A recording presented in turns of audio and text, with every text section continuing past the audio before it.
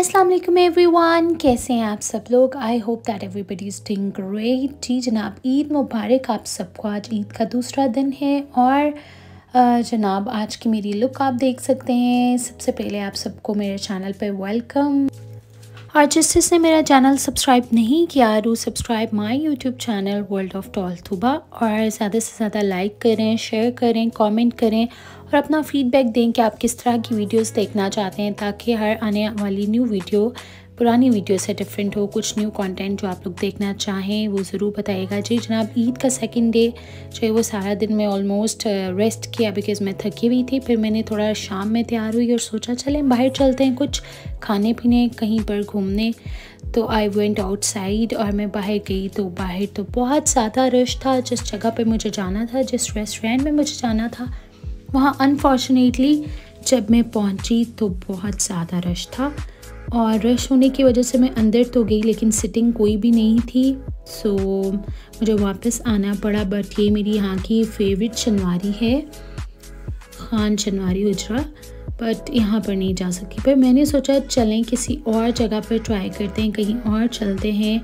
रास्ते में जाते हुए रश जो था वो नॉर्मली रूटीन से काम था एज़ कंपेयर टू जो कि पिछले दिनों में होता है डेली के डेज़ में लाहौर में रश बट वहाँ पर इतना रश नहीं था ईद वाले दिन।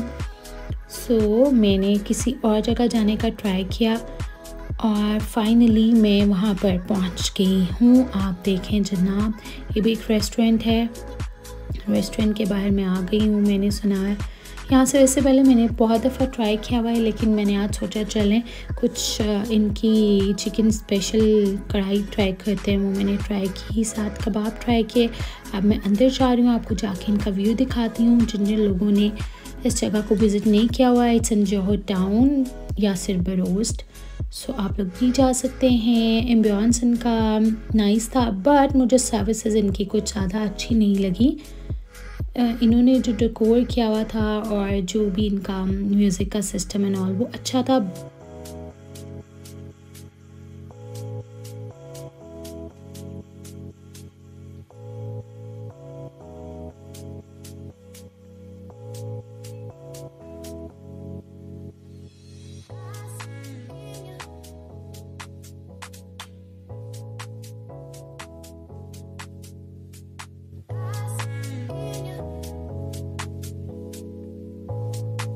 सो मैं जो थी वो थोड़ा बहुत कुछ देख रही थी खाने पीने के लिए कि क्या खाया पिया जाए। सो मैंने चिकन ऑर्डर किया, चिकन कढ़ाई और साथ कबाब ऑर्डर किया।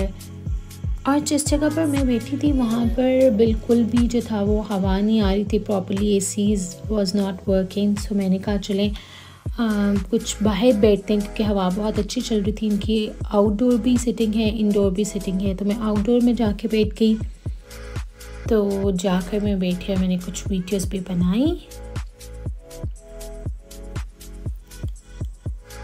तो मेरा खाना आ चुका था, आप लोग देख सकते हैं, ये चिकन कबाब हैं विद चिकन हांडी, जो कि बहुत टेस्टी थी।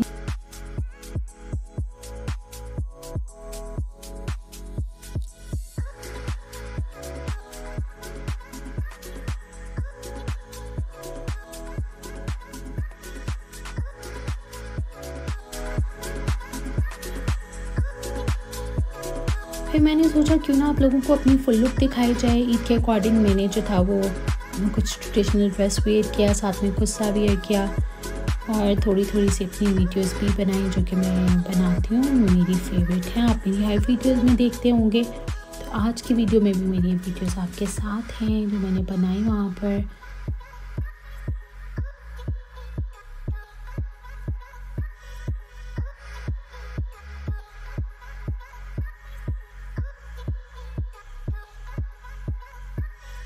बस आज का मेरा टूर इस रेस्टोरेंट का इतना ही था। ईद का सेकेंड डे मैंने इस तरह से स्पेंड किया। आप लोगों का रश देखें कि कितने लोग आए हुए थे। Till then take very good care of yourself and your loved ones मैं जा रही हूँ अपने घर वापस। जाते जाते आपको यही कहूँगी खुश रहें और खुशियाँ बांटें। टिल देन अल्लाह हाफिज़।